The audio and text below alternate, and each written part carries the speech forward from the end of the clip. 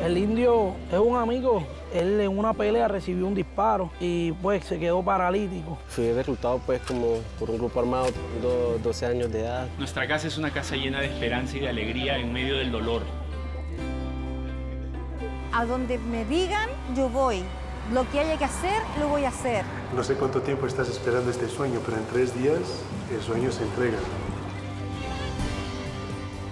Lo bueno es saber que a veces los sueños se hacen realidad.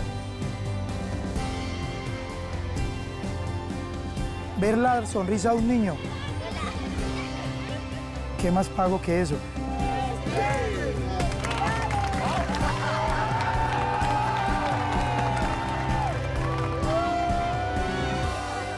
Piedra, papel y tijera.